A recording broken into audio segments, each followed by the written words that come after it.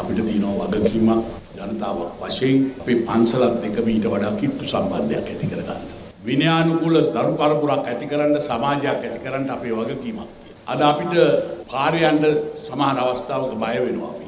විනය සමාජයෙන් පිරිහිලා තියෙනවා. ඉතින් මේ පිරිහිච්ච විනය නැවත ගොඩනගන්න ගම ඇතුළට ඇතුල් වෙලා තියෙනවා මත්කුඩු.